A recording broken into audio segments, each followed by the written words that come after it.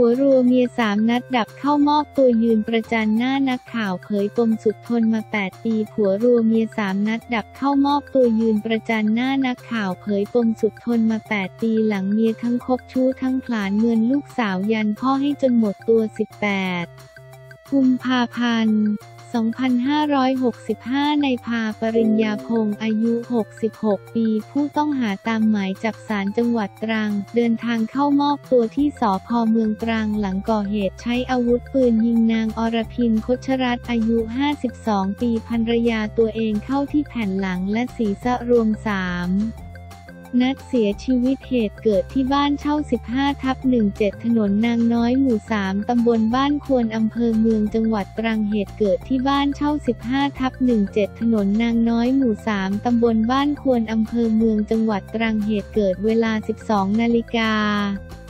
วันที่ 18 กุมภาพันธ์ที่ผ่านมาเบื้องต้นผู้ต้องหาให้ยาการรับสารภาพตลอดข้อกล่าวหา ส่วนอาวุธปืนที่ใช้ก่อเหตุอ้างว่าได้ทำตกขณะหลบหนีจำสถานที่ไม่ได้หลังเกิดเหตุได้หลบหนีไปกบดานบ้านคนรู้จัก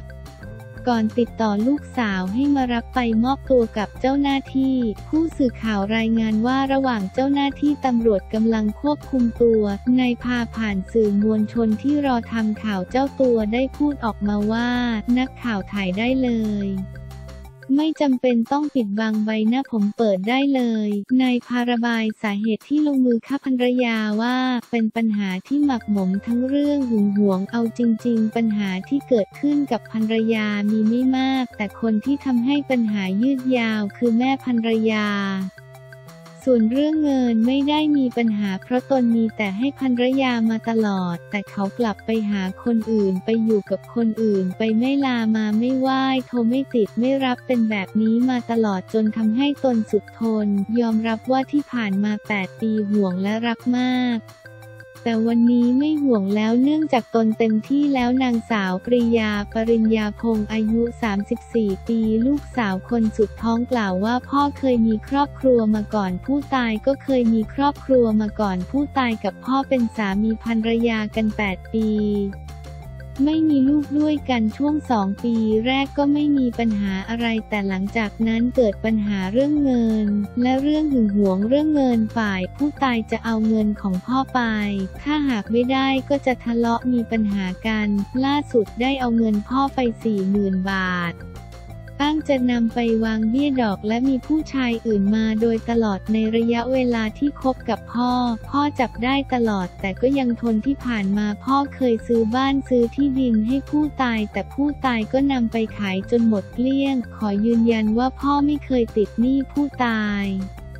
ทางฝ่ายผู้ตายก็รู้ความจริงเต็มหม้อว่าพ่อเป็นฝ่ายให้จนหมดตัวหลังจากนี้ขอให้ทุกอย่างเป็นไปตามขบวนการกฎหมายต่อไป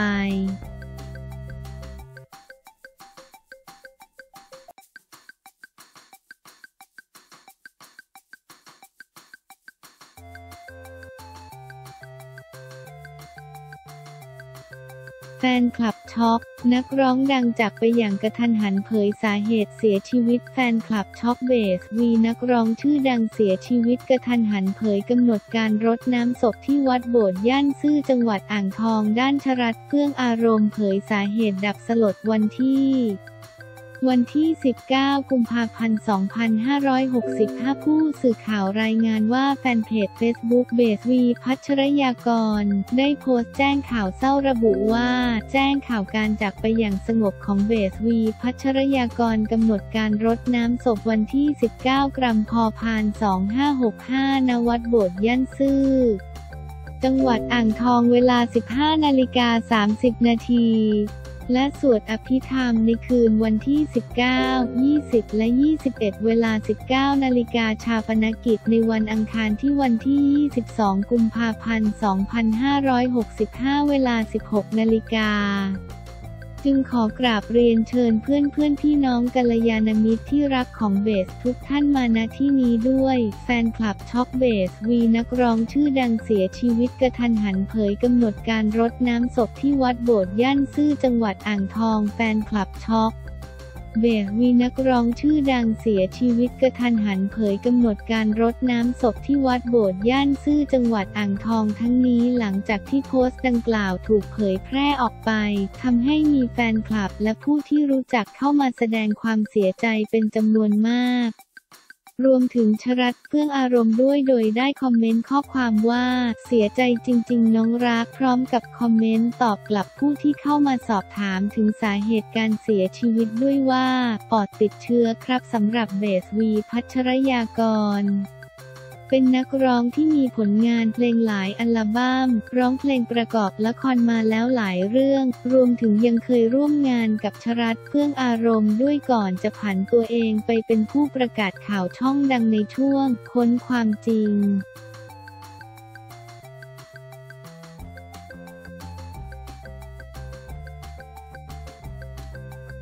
รพิมลบอสโคลีเซียมทุ่มรักษา สรพงษ์เข็มละ 1.8 แสนล้านเท่าไหร่ก็ต้องจ่ายพรพิมลบอสโคลีเซียม หลังจากที่มีข่าวพระเอกรุ่นใหญ่เอกสรพงษ์ชาตรีกำลังป่วยด้วยโรคมะเร็งปอดทำให้หลายคนร่วมส่งกำลังใจให้หายป่วยโดยวายด้านพรพิมลมั่นฤทัยบอสใหญ่ แห่งค่ายโคลีเซียมเพื่อนสนิทพระเอกรุ่นใหญ่ เอกสรพงษ์ชาตรี ได้เผยกับข่าวสดบันเทิงออนไลน์ถึงข่าวและอาการป่วยของ เอกสรพงษ์ว่าตนได้ทราบข่าวตั้งแต่ต้นปี 64 แล้วและเคยเดินทางไปเยี่ยม ซึ่งตอนนั้นสีหน้าท่าทางปกติไม่เหมือนคนไม่สบายและพร้อมให้กำลังใจให้หายวันหายคืน สอบถามเรื่องของเอกสรพงษ์ชาตรีทราบนานหรือยังกับการป่วยครั้งนี้ รู้เมื่อต้นปี 64 เดินทางไปเยี่ยมกันก็เห็นว่าไม่ค่อยเป็นอะไรมากร่างกายยังแข็งแรงปกติดีเพียงแต่แววตาอาจจะไม่ค่อยสดชื่นเท่านั้นเอง พอเจอกันก็คุยกันแต่เรื่องงานแสดง เรื่องหนังเรื่องงานอดีตที่ผ่านมา เรื่องนู้นเรื่องนี้แกก็จะหัวเราะออกเสียง อยู่ด้วยกันตั้ง 4-5 ชั่วโมง เอกเขาก็ดูไม่มีอาการว่าจะเจ็บป่วยเลยนะ ก็คุยเล่นกันแล้วก็ออกมาเดินเล่นข้างนอกถ่ายรูปกันก็ดูโอเคปกติดี แต่ก็ไม่สบายก็ต้องรักษาเพียงแต่จะหายเร็วหรือหายช้าเท่านั้นเอง แต่ทุกโรคเมื่อเป็นอะไรก็ต้องรักษา เห็นว่าได้ช่วยในเรื่องค่ารักษาด้วยใช่ไหม คือเราสนิทกันนะความที่เราสนิทกันมีอะไรก็เอื้อต่อกันช่วยเหลือซึ่งกันและกันได้ตอนที่ถ่ายหนังด้วยการเป็นสิบกว่า เรื่องก็อยู่กันนานเจอกันตลอดเอื้อกันมาตลอด คอนพิมลบอสโคลีเซียม ในส่วนของค่ายา ก็ต้องฉีดยาพหม่อม หม่อมกมลายุคนณอายุธยา บอกมาเราก็ช่วยเลยเพียงแต่ว่าการฉีดยาก็ทำให้หายเร็วดีขึ้น ฉีดยาจะไวกว่าอย่างอื่น เพราะถามแล้วก็ดีขึ้นก็ฉีดยาแล้วดีขึ้นก็ถูกทางแล้ว น่าจะดีขึ้นเร็วๆนี้ มูลค่าเข็มละ 1.8 แสนบาท ใช่ใช่แพงหน่อย แต่ยาดีก็อาจจะแพงสักนิดหนึ่ง แต่ถ้ามันเป็นผลในสิ่งที่ดีเท่าไหร่ก็ต้องจ่ายนะ เพราะว่าให้หายเร็วถ้าให้หายไวก็ควรเป็นลักษณะนั้นนะคะ พี่เอกไม่ได้เล่าว่าป่วยแล้วทราบเรื่องจากไหน คุณท็อปบินเป็นคนบอกเราก็กังวลเลยนัดกันไปเยี่ยมกันก็ไปเยี่ยมเอกที่บ้าน แต่พอเจอกันก็ไม่คิดว่าเป็นนะเพราะดูไม่ค่อยออกว่าเอกไม่สบาย เพียงแต่เอกเขากังวลเท่านั้นเอง แล้วก็แววตาที่ดูเศร้า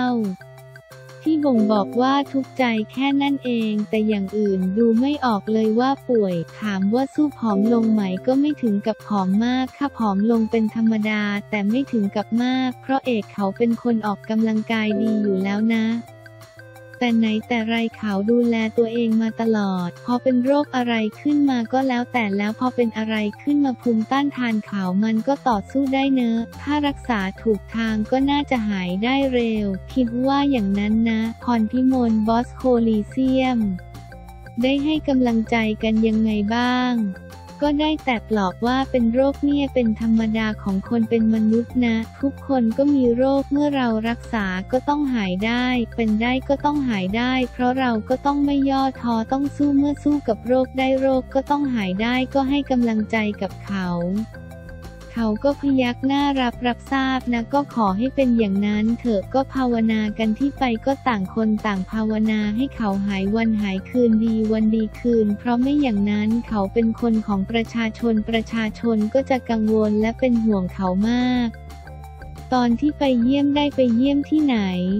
บ้านที่กรุงเทพมหานครจะแต่ว่าถามว่าที่ไหนจำไม่ได้นะจำทางไม่ได้เลย ได้ร่วมงานกับโคลีเซียมเรื่องล่าสุดคือเรื่องอะไร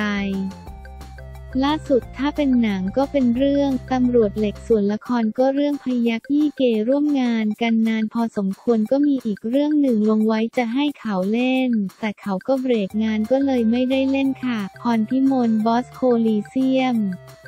ทุกคนส่งกำลังใจให้เต็มที่ ใช่ใช่พวกเราก็ส่งกำลังใจให้เนอเอกจะได้หายไวๆจะได้ดีขึ้นเอกสรพงษ์นับเป็นพระเอกที่ทรงคุณค่ากับวงการบันเทิง เขาเป็นพระเอกเขาจิตใจดีแล้วก็มีความเอื้ออาทรเขาเป็นคนดีนะก็ความดีที่เขาสั่งสมมากก็ให้เขาหายดีวันดีคืน ขอบคุณรูปจากอินเทอร์เน็ต